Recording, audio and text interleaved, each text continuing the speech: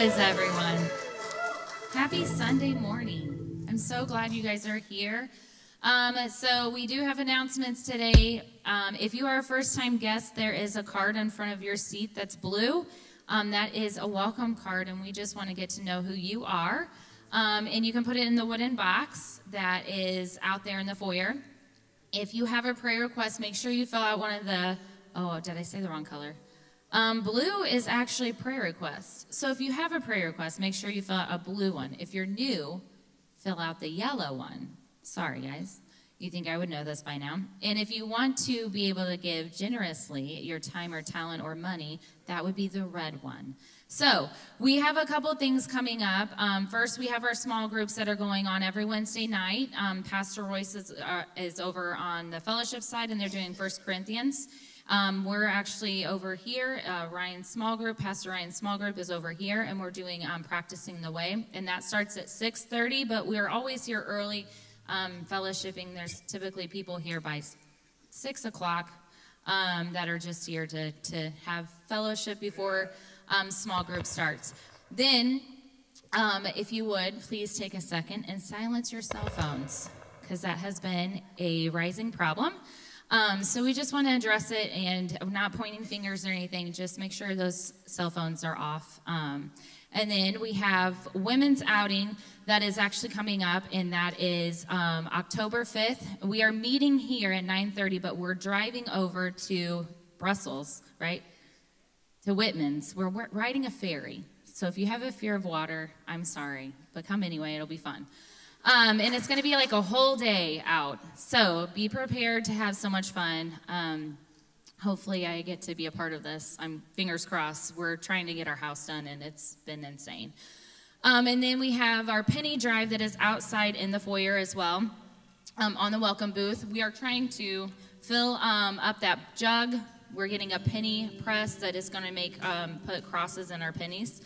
That's something that we're really passionate about because my father-in-law has started that. Um, and it's just something that us as a church we want to do. It's a way that we can witness to people um, in a simple way, but yet profound way. Um, so if you have any pennies at home, make sure you bring them to fill up that um, jug before you know we start penny pressing. We're supposed to get it this next month? Two weeks we're going to have it. So make sure you bring in your pennies, okay? All right, and then I wanted to share something um, that I was reading my Bible this morning, and um, and hold on, let me let me just put my mic up for a second. Okay, Ecclesiastes four nine says, Two people are better off than one for they can help um, each other succeed. If one person falls, the other can reach out and help. But if someone who falls alone is in real trouble, likewise, two people lying close together can keep each other warm. But how can one be warm alone? A person standing alone can be attacked and defeated, but two standing back to back can conquer. So that to me means that we need each other. We are here to be together, to be unified, to be one for each other. So if we see one person falling or we see someone, you know, having a difficult time, we're not supposed to point out that they're having a difficult time. We're supposed to pick them up and walk alongside of them. So I just want to encourage you today that you're not alone and that we're all here together. We're all for each other. Um, and that not only are we together, but God's for us as well. So I'm going to pray and then we're going to get into worship. Thank you, Lord, for your love and your grace. Thank you for this beautiful day that you've blessed us with, God. A time to be together and to worship you. God, you are worthy of all the praise. You're worthy of everything that we could give. We just pray that you would take the time to hear us as we worship you. God, we pray that you would just be in this place. That you would just move in a way that only you can. That lives would be changed, Lord. I pray for healing over minds and healing over body. Lord, I pray that your peace would just be in this place, that your joy would fill us up. Lord, that you would walk in this room and have your way in this place. We surrender everything to you, God. We lay it at your feet. And we just welcome you in this place. It's in your name we pray. Amen. All right, church, why don't you stand on your feet? We're going to worship the Lord today.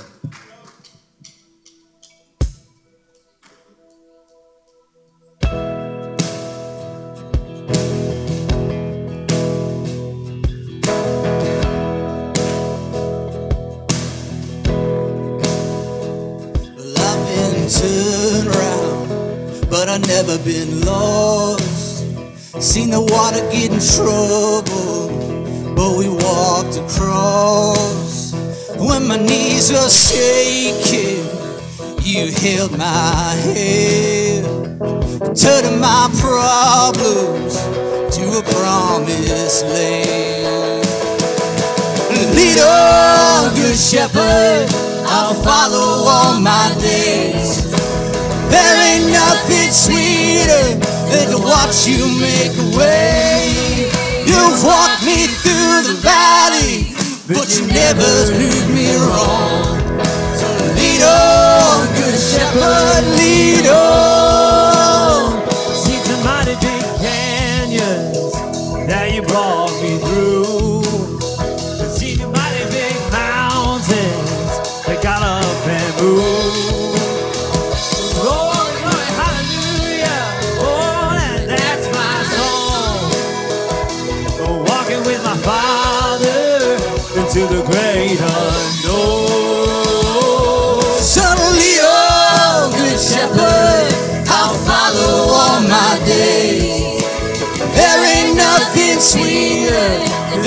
Watch you make a way. You've walked me through the valley, but you never steered me wrong. Lead on, good shepherd, lead on step, by step, day by day. Lead me, oh Lord, I pray. Road gets dark, walk by faith. On, good shepherd. Step by step, day by day. Lead me, oh Lord, I pray. Road gets walk by faith. Lead on, good shepherd. Lead on, good shepherd. I'll follow all my days. There ain't nothing sweeter than to watch you make a way. You walk me through the valley, but you never steer me wrong. So lead on, good shepherd, lead on. Step by step, day by day, lead me, oh Lord, I pray. Road gets dark, walk by faith Lead on, good shepherd. Step by step, day by day. Lead me on,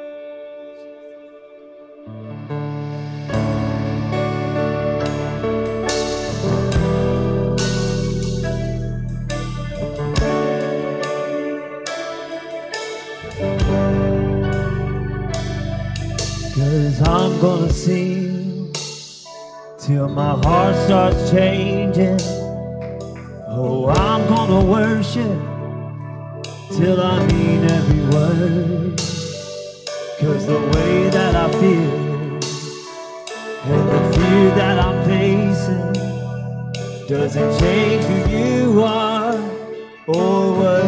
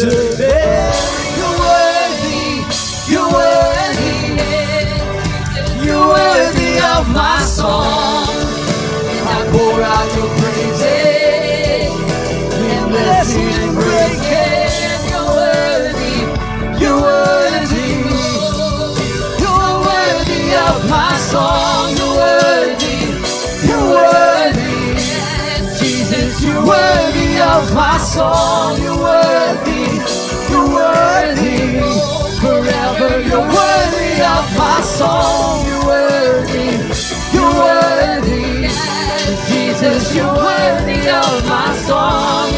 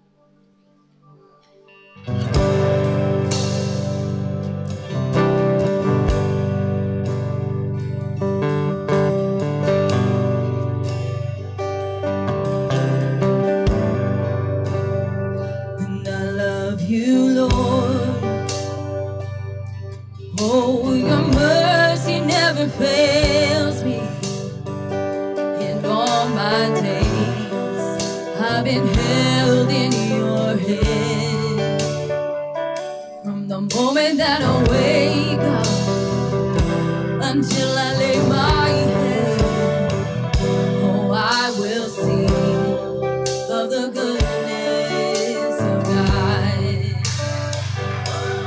Oh, all my life you have been faithful.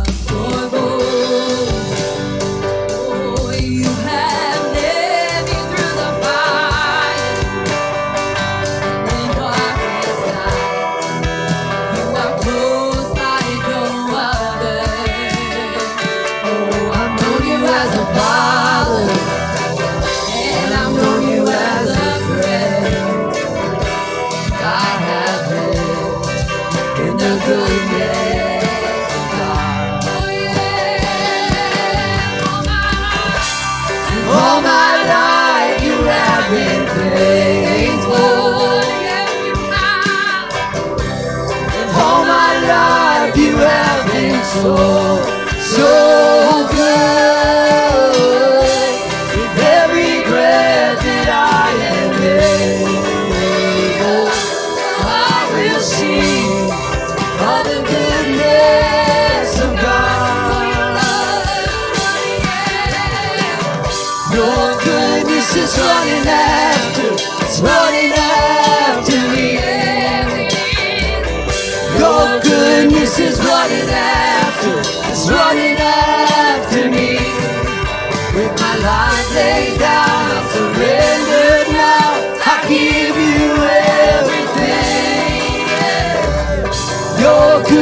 Is running after, it's running after me. Cause your goodness, your goodness is running after, it's running after me. Your goodness is running after, it's running after me. With my life laid down, I surrender.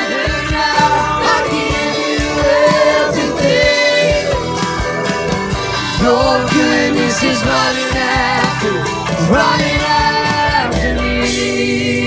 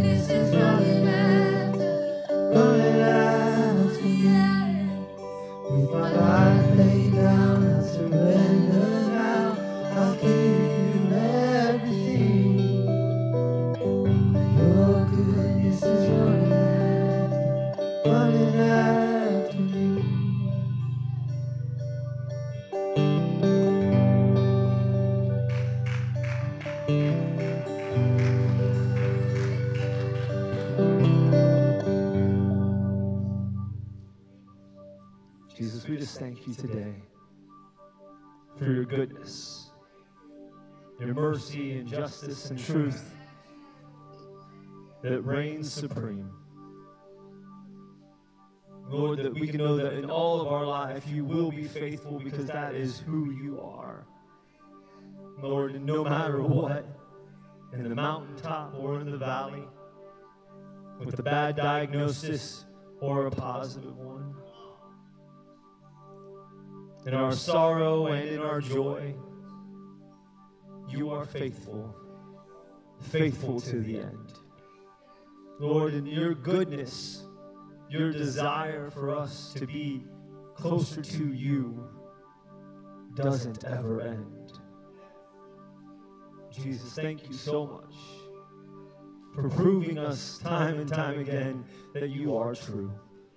Lord, for giving us not just our own memories, but those of those people that have gone before us, people that are standing beside us, people in community all around us that get to say and proclaim of your goodness. So in our moments of weakness, we can rely on the stories of those around us. Jesus, I pray that we never lose our faith. Remind us constantly of your goodness. And we'll thank you for it. In your name we pray. Amen.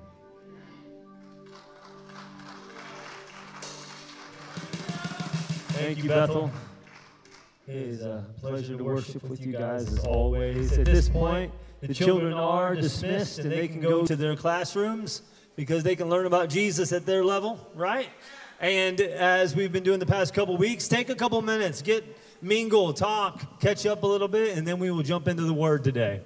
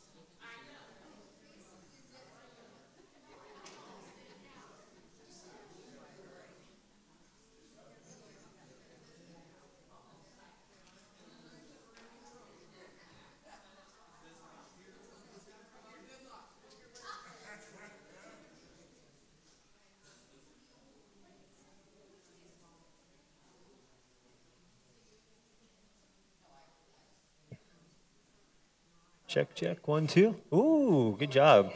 Thank you, Amos. Amos is running sound for us today. That's my son back there. I know. Mick called me this morning and said, I'm not feeling well. And I said, Thank you for letting me know. We got somebody that's capable. And uh, so I texted my wife and said, Would you please ask Amos to save us today? And he he stepped right in. So thank you, buddy. Um, and he's I like that he is willing to jump in and learn things and, and take on new challenges at the spur of a moment. He's truly becoming a pastor's kid.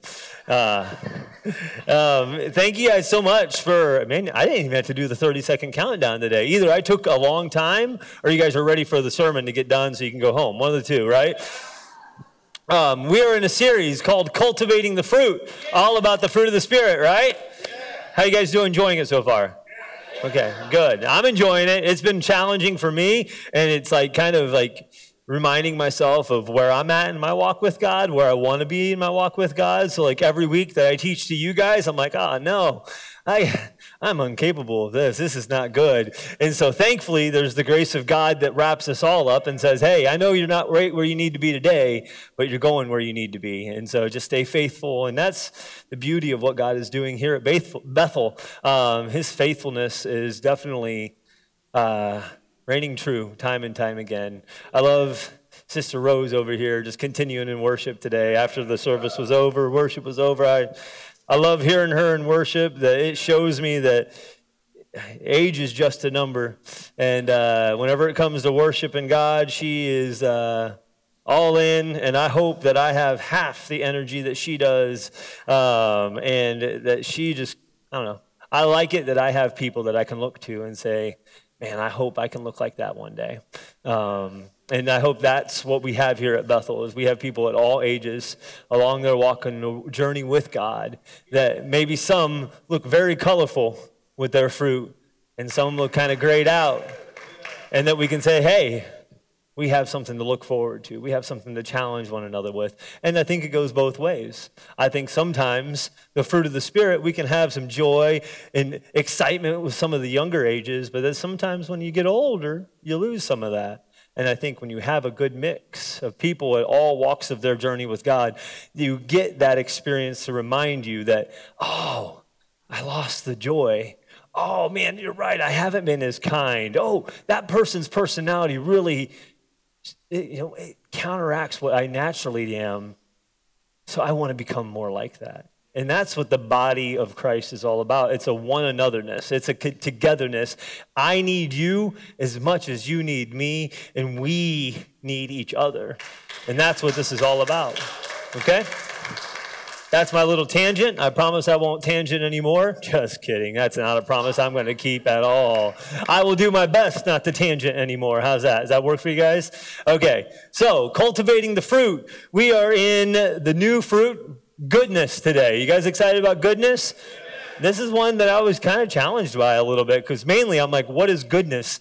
And I had to kind of wrap my mind around we know the goodness of God. We sang about it today. But how does it apply as a fruit.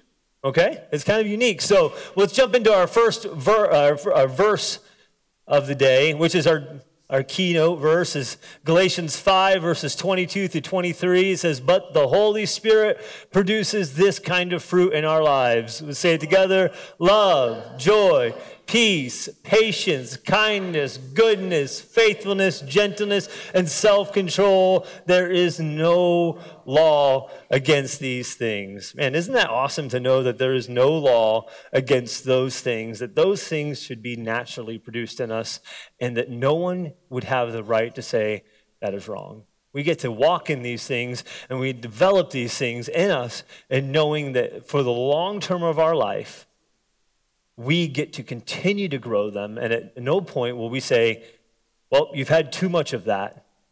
It's against the law. Right? You're too good.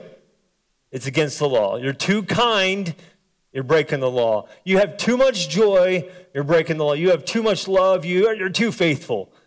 You can be, you can never have too much of this, which means to me that we can grow giant trees of fruit in our life, and we can continue to display that characteristic and expand upon it, and that it is limitless to what we can experience in the kingdom of God. It's limitless. I like C.S. Lewis has this quote that I found this week that I thought was really good. It said, God's goodness is not the sort of goodness that human beings would naturally expect or even necessarily want, but it is the goodness that we ultimately need. It is the goodness that we ultimately need.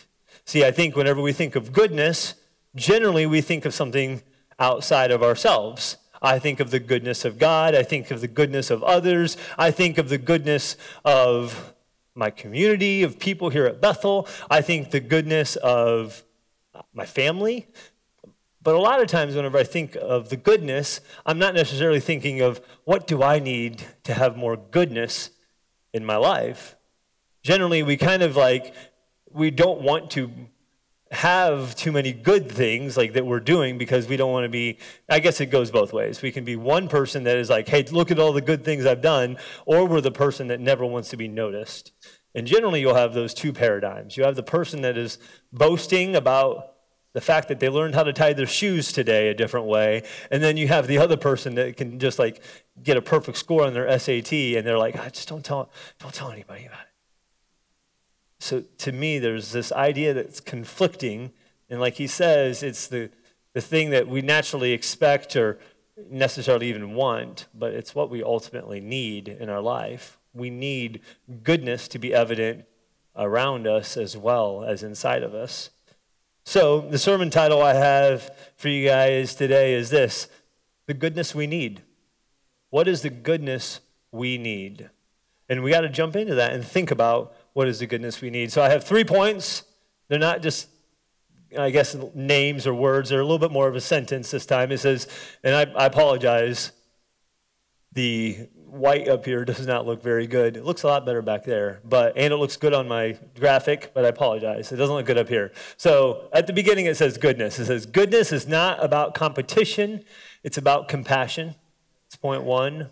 Goodness is not an act, it's an awareness. Goodness is not about arriving, it's about becoming. Okay? So let's talk about goodness is not about competition, it's about uh, compassion. It's not about competition, it's about compassion. And so what does the book of James say? In book of James chapter 2 verses 14 through 16 it says this, what good is it, dear brothers and sisters, if you say you have faith but don't show it by your actions. Can that kind of faith save anyone? Suppose you see a brother or sister who has no food or clothing, and you say, Good, bye, and have a good day. Stay warm, eat well. But then you don't give that person any food or clothing. What good does that do? Going on to verse 17 and 18, he says this So you see, faith by itself isn't enough. Unless it produces good deeds, it is dead and useless. Now, some may argue, some people have faith and others have good deeds, but I say, how can you, how can, wait, I say, how can you show me your faith if you don't have good deeds? I will show you my faith by my good deeds. And then in Philippians 2, verses 1 and 2, it says this is there any encouragement from belonging to Christ? Any comfort from his love? Any fellowship together in the Spirit? Are your hearts tender and compassionate? Then make me truly happy by agreeing wholeheartedly with each other, loving one another, and working together with one mind and one purpose. So, thinking back to James, James is talking about faith without works is dead. That's the King James, that's what I grew up with. It's saying that, hey, you gotta, you gotta do some stuff. You gotta, like, you can't just say, I'm a Christian, I, I believe in God, but then you don't do anything. You don't have anything good coming out of you. You don't look at a brother and sister and say, hey, they need something and ignore it. You actually see a need and you want to step into it to make their life good. You want to step into their life and make a change. You want to put your faith to action. Now, the problem with this in the church that happens a lot of times is now our works take place of our salvation. And see, what happens is now it's a competition of how good can I be? How many good things can I do in order to make sure that my faith is secure? You're missing the point. You're missing the idea. The idea is not about how, how good can I do. Uh, it's not a competition about trying to be better than someone else or trying to earn a first place prize in the kingdom of God. It's about being in the kingdom of God. It's about doing the things that were required of us, not because it's a requirement, but because we understand that it's a privilege. So now, instead of this saying, I'm doing good works because of my, my I want to make it sure I get into heaven, I'm now doing good works because I count it a privilege to honor my king. I count it a privilege that I can say that this is not just because of my heart saying that I want to make sure that I'm okay with God. It's saying that, man, because I'm okay with God, because I'm in the kingdom of God, because I'm in his presence, because I want to be closer to him, it takes away the competition. It takes away the weight of saying, I'm doing this to earn something, and now it's saying, I'm doing this because I get to. I think a lot of times in our lives, we get stuck in that mindset of because, I guess the opposite. We get the mindset of competition.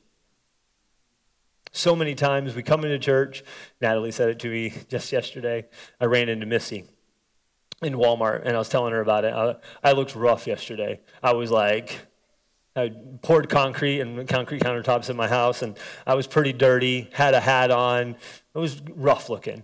And uh, she's like, I think, she's like, oh, it is. And I'm like, I, I told Natalie later on, I was like, yeah, she's probably not used to seeing me like that. And she's like, yeah, you've been dressing really preppy lately. And I'm like, what do you mean preppy?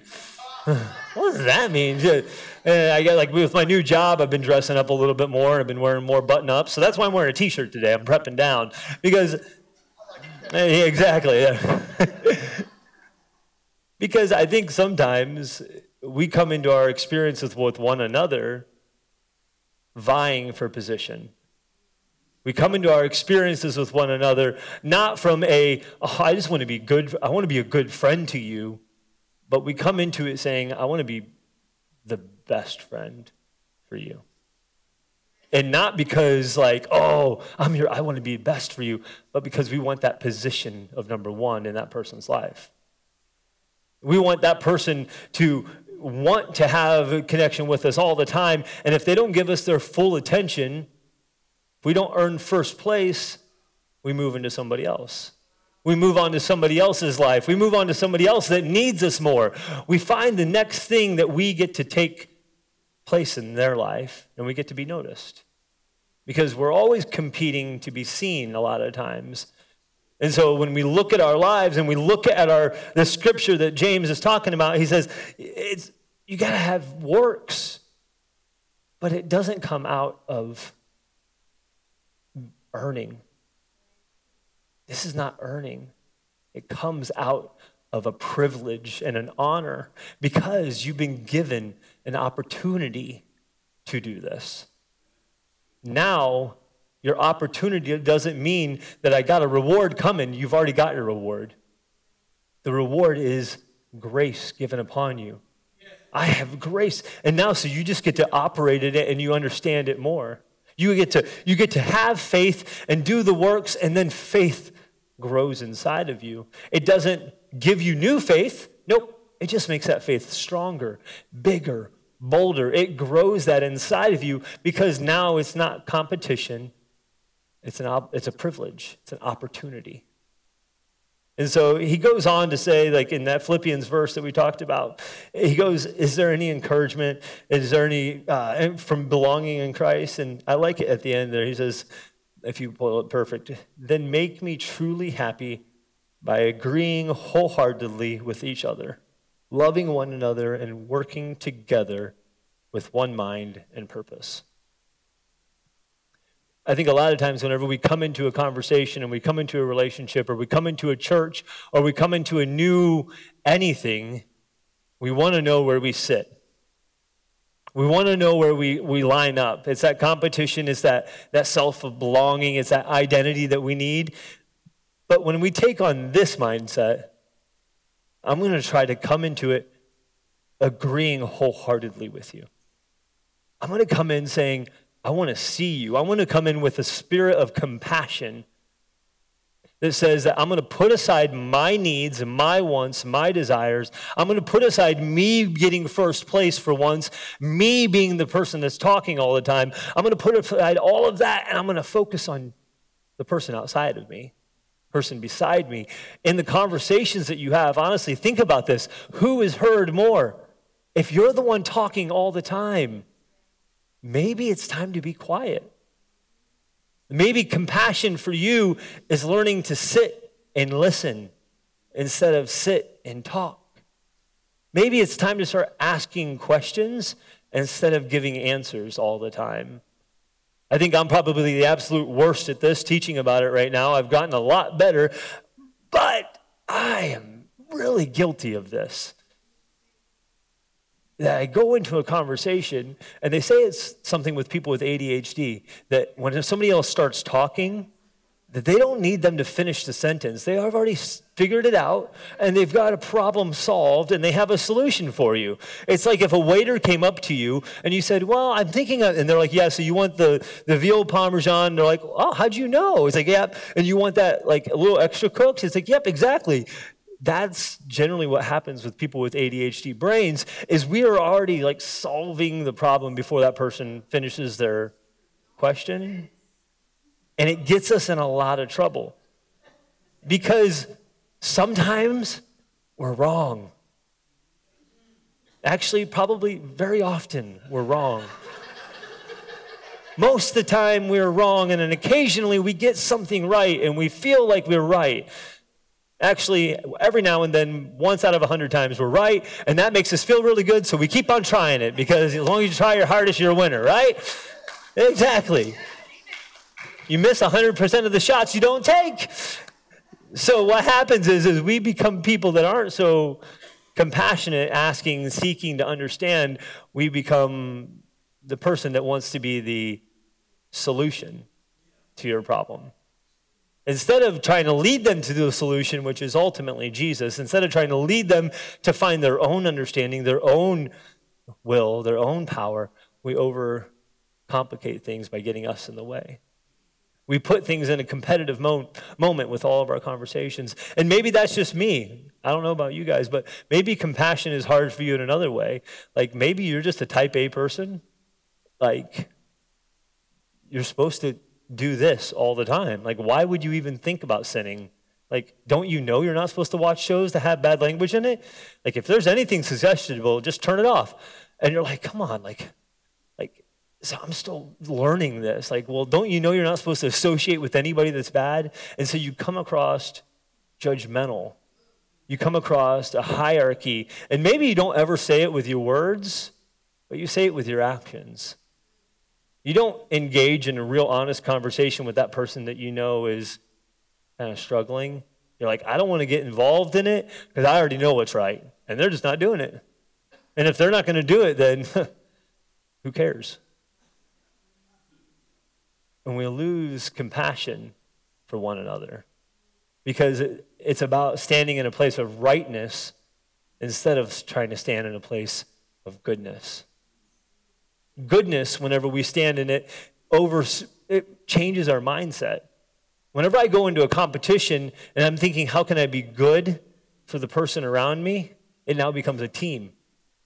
Whenever I go into a, a, moment where I need to show compassion, it no longer becomes about me when I think about goodness. It becomes about the person. It becomes about the need. It becomes about what is not in my life, in my control. Goodness rights these wrongs. See, a lot of times we get stuck in that mindset of competition or compassion, and it ruins the view of goodness in our lives, it taints it. Because now we start to think, like, well, in order for something to be truly good, it has to benefit me. Sometimes good things in your life don't benefit you the way you want them to. Sometimes they don't benefit you the way you want them to grow your life, to bring joy to your life. Sometimes goodness in your life comes through suffering. Sometimes goodness comes to your life through loss. So, in your life, how is goodness showing up? Is it in competition or is it in compassion? And that moves us on to our second point. See, goodness is not an act, it's an awareness. It's not a single thing or a, a couple things that you do.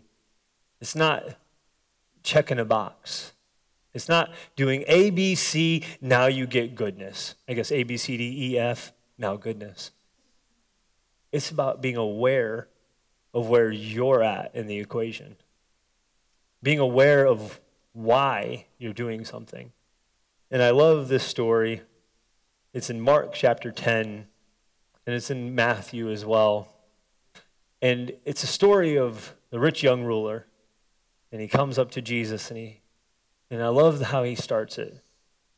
And let's read it together. It says this As Jesus was starting out on his way to Jerusalem, a man came running up to him and knelt down and asked, Good teacher, what must I do to inherit eternal life? Why do you call me good? Jesus asked. Only God truly is good. But to answer your question, you know the commandments. You must not murder, you must not commit adultery, you must not steal, you must not testify falsely, you must not cheat anyone, honor your father and your mother. And the, the man responded, Teacher, the man responded, I've obeyed all these commandments since I was a young boy. And I'm going to stop right there if you can go back. I want to point out something. He stopped calling him good, teacher, here. It's just interesting to me. I'm like, he recognizes that something was special about Jesus at one point, the very first interaction with him. Then this time, he's not just a teacher, he's kind of lost respect for him. He knew who he was before, and now by the time he started talking, he's kind of gotten a little bit of an arrogance about him. And this is what he responds. He goes, I've obeyed all these commandments since I was young. And then he moves on. Jesus says this, looking at the young man, Jesus felt genuine love for him. I like that. He felt genuine love. There's still one thing you haven't done, he told him. Go and sell all your possessions and give the money to the poor, and you will have treasure in heaven. Then come, follow me. At this, the man's face fell and he went away sad, for he had many possessions. See, this rich young ruler had all the acts done. He honored his mom and dad, he hadn't killed anybody. He did all the right things. He looked the part. And that gave a sense of confidence to him because he felt like he was a good person. He felt like, I'm doing it all good. I don't, i have got it figured out. Why do I need to do this extra thing? But the thing is, is this is what we oftentimes, it's what I face in the world whenever I talk to anybody that is genuinely, genuinely a good person that doesn't come to church. They're like, I'm a good person. I don't steal from people. I don't lie. I don't cheat. I'm, I don't like. I believe in God. I don't really need to do the whole church thing, the whole faith thing. I know there's something bigger than me, and I'm a good person. If it was built on your good works, anybody could achieve it. It's not based on your acts, it's based on your awareness. Because at the end of the day, Jesus lists the things, and according to the law, that's what makes you a good person according to status quo, that's what made you good. But in the eyes of God, He looks deeper. He looks at what the issues of your heart are because you can do all those things. You can do all the right things. You can be the most generous person that comes to church. You can be the most faithful person that stays here. You're here, you serve, and you do all of that. But if there's something inside of you that you're aware of, that you're not submitting to God, you're missing out on the fullness of God. You're missing out on the goodness that gets to live inside of you, that gets to come out of you because you've surrendered part but not whole. You're still walking around, I've heard it talked about, you're still walking around with the dead man's clothes on. Like you've been raised to life and you're a new creation, but why do you still carry a casket? Of the old person. You're aware of the thing that you could change in your life if you surrendered, but you're kind of stubborn about it. I've been there. I'm probably there on times more than I think. Because uh, if we if we benchmark our goodness on a checklist, we can prove ourselves right. But if we benchmark our goodness on Jesus, we're always going to be insufficient. We're always going to be needing something more. And that's where Jesus wants you. It's where Jesus wants me. He wants us in a place of wanting more, needing more, because we know that on our own, we can only do a list. On our own, we can only accomplish quote unquote good things. But with God, with Jesus at our side, it's no longer about just doing the good things, it's about becoming the kind of person who good things naturally flow out of. It's becoming the kind of person that naturally does the right thing and naturally wants to honor their father and mother. It doesn't become something you have to do, it's what you want to do. So when you look at your life, when you look at your heart, when you look at your mind, where do you stand up with this? Where do you stand up with, with this mindset that I know what is right, Ryan? I've been there. I've struggled I, I sit here and I say, God, I come to church every Sunday and I'm doing all the right things, and I still feel like there's something missing. I still feel empty. I feel like there could be more. Step into it. Ask yourself the question like Jesus did, or like this rich young ruler did. Ask God, what must I do to inherit goodness, eternal life? Look at it. Examine your heart. I think a lot of times we don't come to God asking questions of how to get more like Him. We come to God asking for solutions to our problem. We say, God, how do you get rid of this in my life? God, how do you make me more like you? What is the area that I need to work on that's outside of my thinking that will make me more like you? That way, the thing that I'm struggling with will fade away. I don't know what it is for you, but for this man, it was his possessions. There's nowhere in the Bible that says you have to sell everything, like really, in order to go to heaven. That is not a requirement of salvation. But it was for this man. What is a requirement for salvation for you that is different than anything you read in the Bible? It's going to be different for you. What is your hangup? What is your holdup? What is keeping you from being surrendered? Maybe it's your pride. Maybe it's your, maybe it's an addiction. Maybe you're just so stubborn that you're not willing to admit you have a fault. What is it? It's, I know, it's challenging to think about what am I holding on to? I think it's easier at a young faith because we have a giant list and it's harder the more mature you get. And I think for this person, the reason why it was harder, even though he was a young man, he said he'd done all the right things his whole life.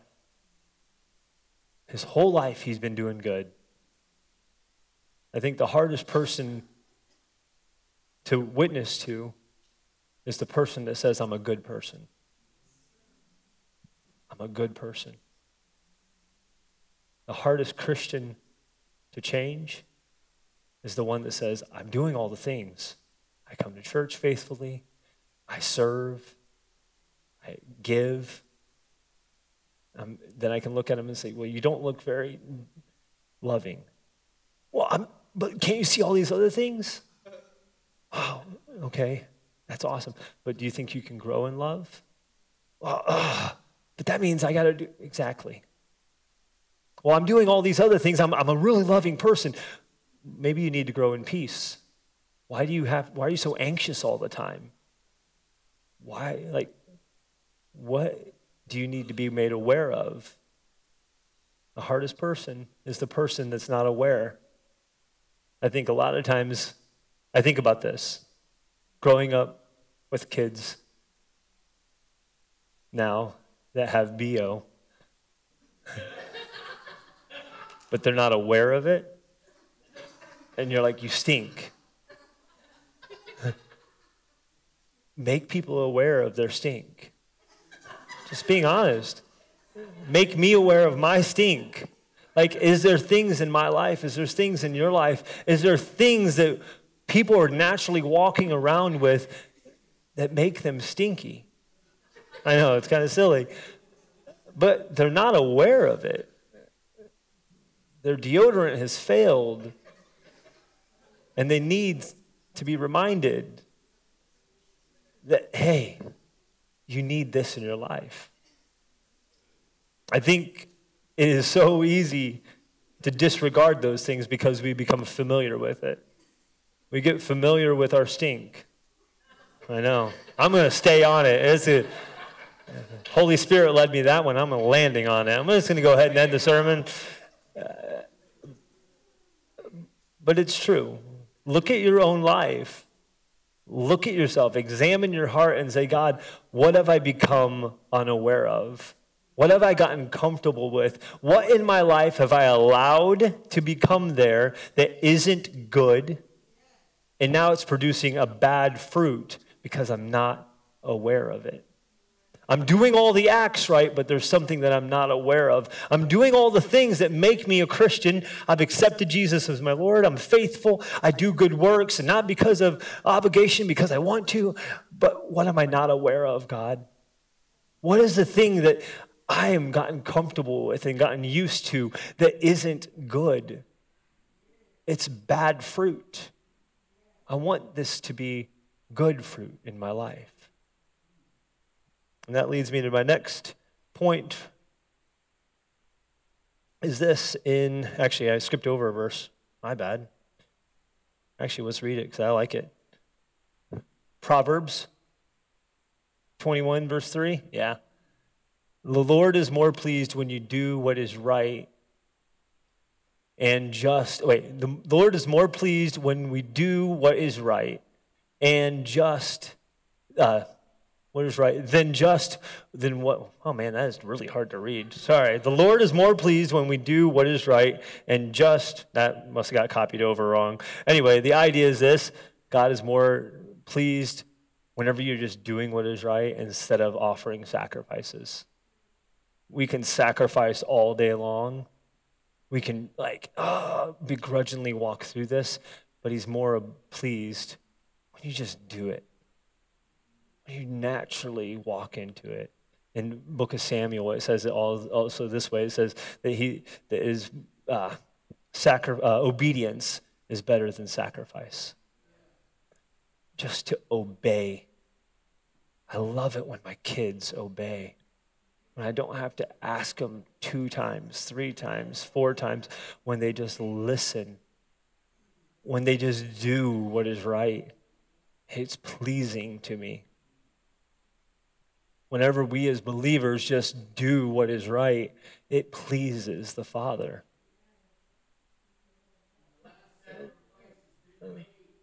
Yeah. And we read on going into goodness. The next point is this goodness is not about arriving, it's about becoming. In 1 Thessalonians, it says this So we keep on praying for you, asking our God, to enable you to live a life worthy of his call. May he give you the power to accomplish all the good things your faith prompts you to do. Then the name of the Lord Jesus will be honored because of the way you live, and you will be honored along with him. This is all made possible because of the grace of our God and Lord Jesus Christ. To live a life worthy of your calling. To live a life that says that I have a calling on my life. Recognize that.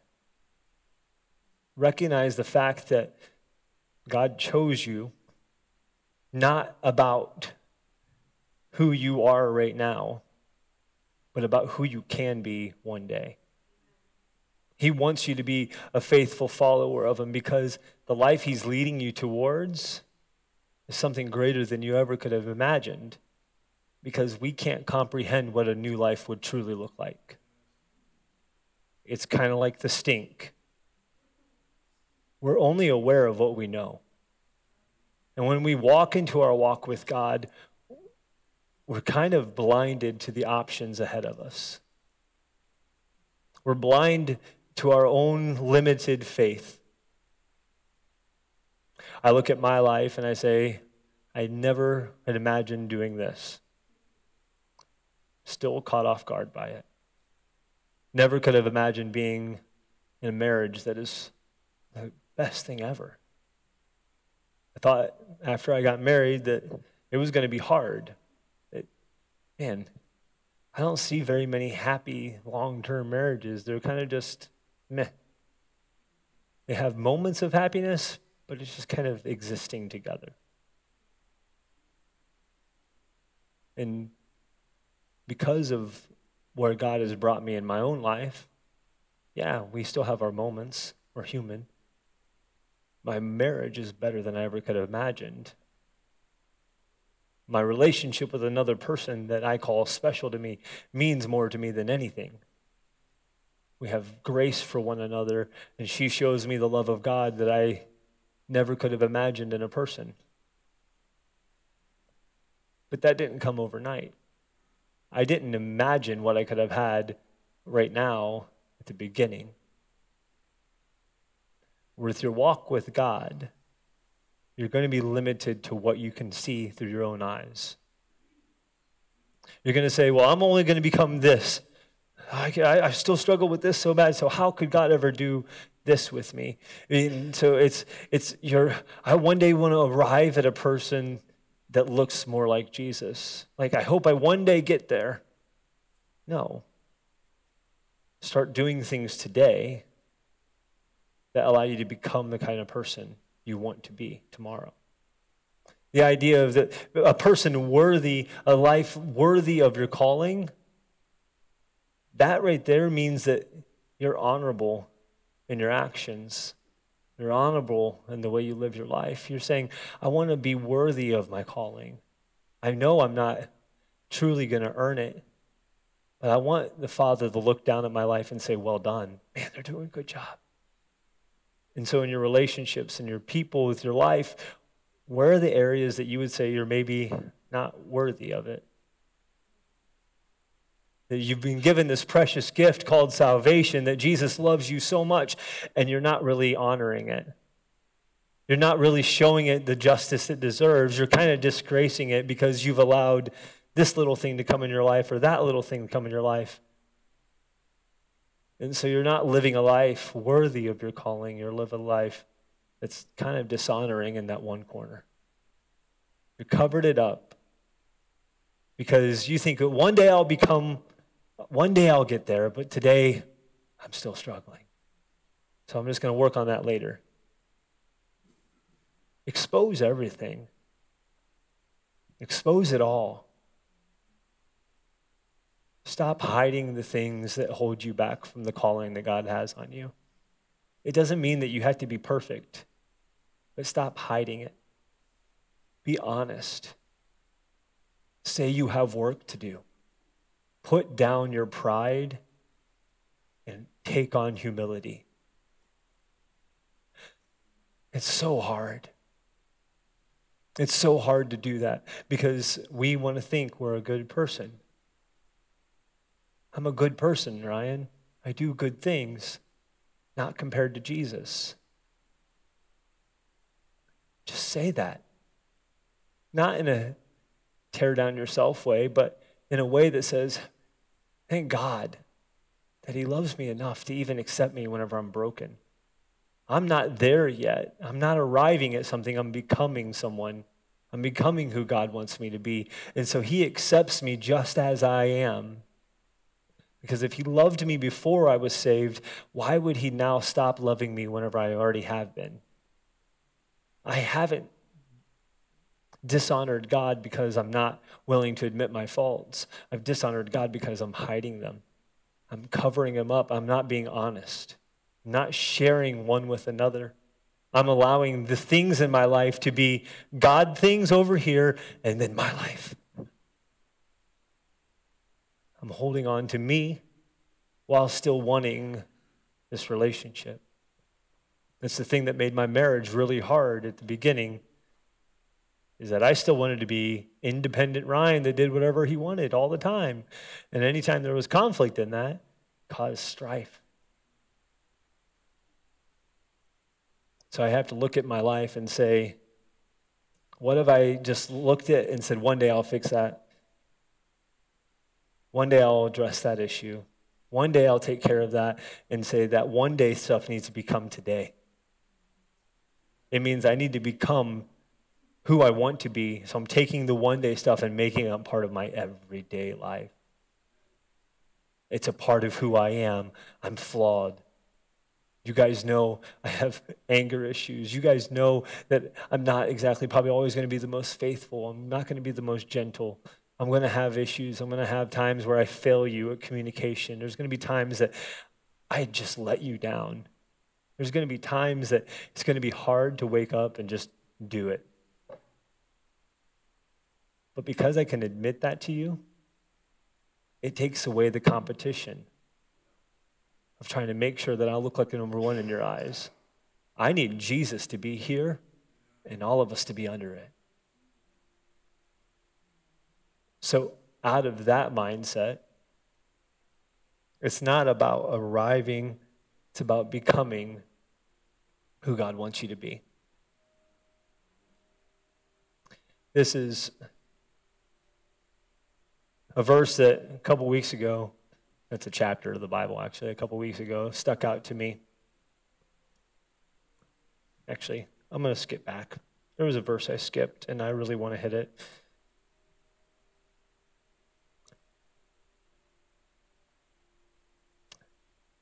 Where is it at? Because it's important, because it's something that we look over often. Maybe I didn't put it in here. Philippians 4 8 and 9. There it is. Thank you. And now, dear brothers and sisters, one final thing. Fix your thoughts on what is true and honorable and right and pure and lovely and admirable. Think about these things that are excellent and worthy of praise. Keep putting into practice all you learned and received from me, everything you heard from me and saw me doing. Then the God of peace will be with you. I like this verse because it reminds me that what are you thinking about? What is your mind fixed on? A lot of times, the things that we fix our mind on aren't the positive things. The things that we dwell on are the negative things. We don't talk about, man, do you see like how nice the weather was? Do you see how like like did it rain so much that we actually have like saturation on the ground. It's not just hard dirt and dust out there anymore. We talk about, oh man, like I can't believe that rain was so hard. That was really, man, why couldn't we just get a little bit of rain at a time? And that way, it just, like, why did it have to be a sloppy mess? It'd been really good if we just gotten. Instead, we generally go to the negative. We generally think about things that are, you know, bad things. If you go on your Facebook feed right now and look and to say what's positive, what's negative, I guarantee you there's more negative than there is positive. Because we generally want to focus on the things that make us kind of feel better because maybe we're not that bad. But when you start fixing your thoughts on what is true, honorable, right, pure, and lovely, admirable, it makes you question where you're at. Whenever I read a word like admirable, I ask myself, is there somebody that admires me? Am I living a life that's admirable? Am I living a life that's lovely, pure, true? Am I thinking about a life that is creating those types of narratives for people? Or am I living a life that generally brings like negativity into the conversation? We generally focus on the negative.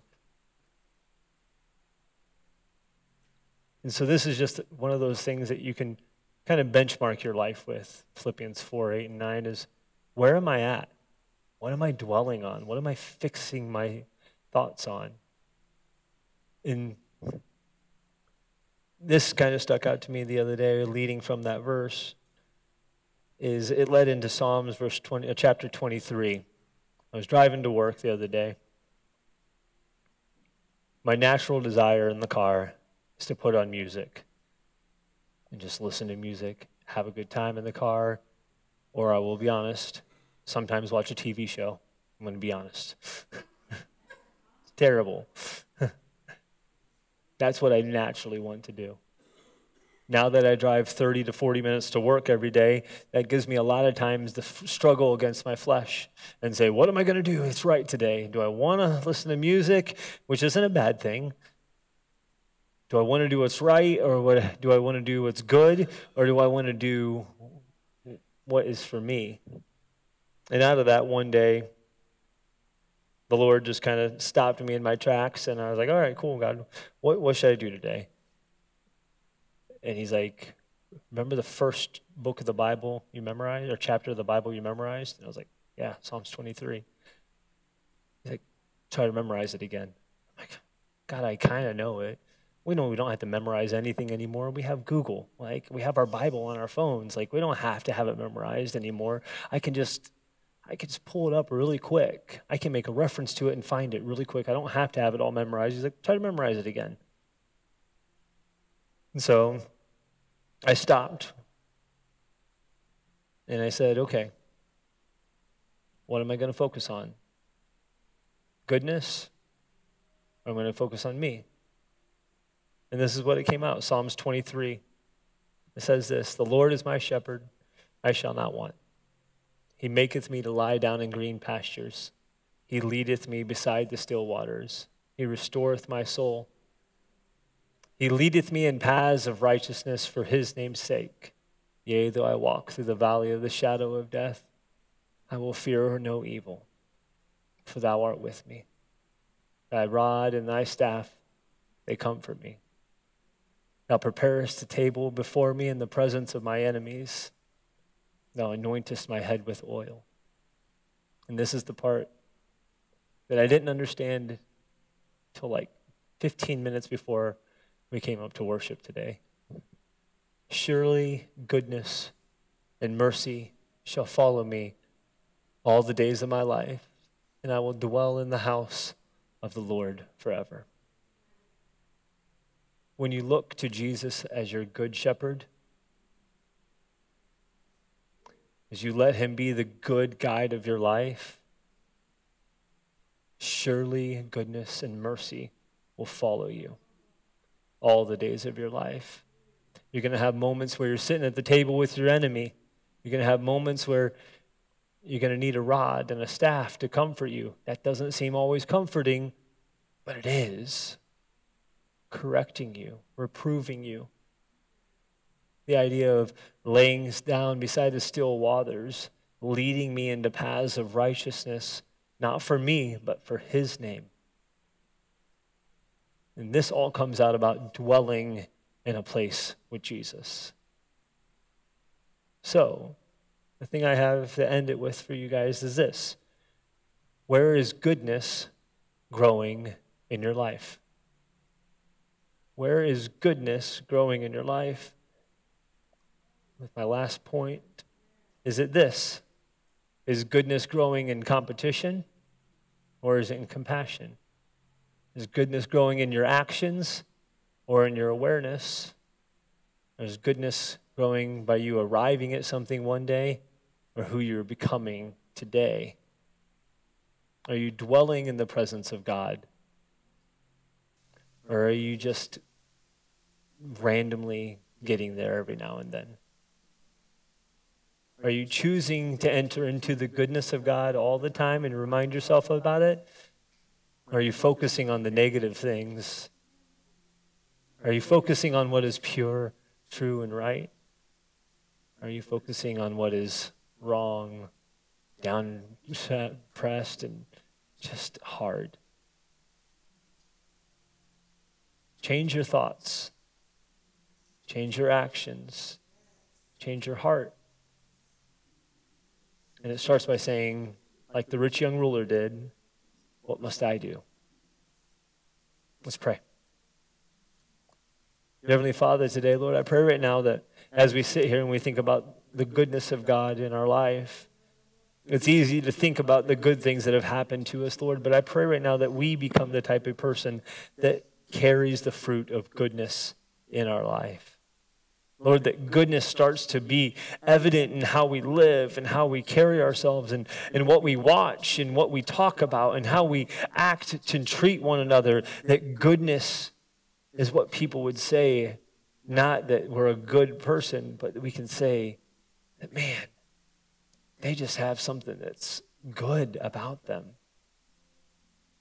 And it's because we tap into you. Lord, I pray that you make us aware of where we're at in this journey. Lord, I pray that you take off the blinders, or like we came out in this sermon, that you make us aware of the stink. Lord, make us aware of the thing that we've gotten comfortable with that isn't good. Lord, make us aware of the thing we need to change or the things we need to change, the things we need to surrender so that goodness can grow in us. Lord, I love you today, and I thank you for your word. I thank you that it challenges us and reproves us and corrects us like the rod and the correction do. Lord, but I thank you that you can lead us beside still waters. I thank you that you can restore our souls. I thank you that you can lead us into paths of righteousness and that surely goodness and mercy will be following us all the days of our life. In your name we pray. Amen. As always, these altars are open. Um, your chairs are open if you need to pray, sit, talk. Um, but at the same time, you're more than welcome to leave until we come back again. Hopefully, see you on Wednesday night. But God bless you guys and have a great day.